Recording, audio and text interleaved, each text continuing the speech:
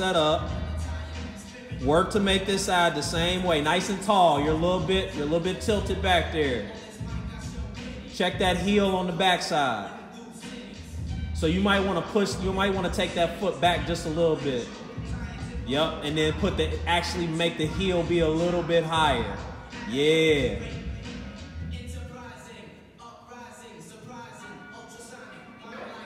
That's all right, find it. Take your time.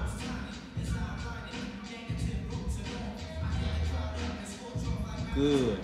I love it. Take your time. You don't move until you feel it.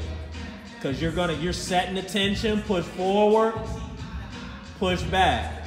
You're gonna have four more reps. You shouldn't be losing the tension for these next four reps. Push forward, push back, three, push forward, push all the way back to that position you just came from. Good. Two. Keep working. Push forward. Push back. All right, we got one. Stay strong. Push forward.